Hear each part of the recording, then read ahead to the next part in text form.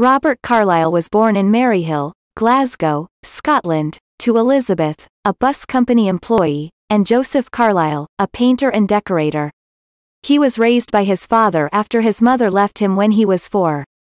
At the age of 21, after reading Arthur Miller's The Crucible, he enrolled in acting classes at the Glasgow Arts Centre.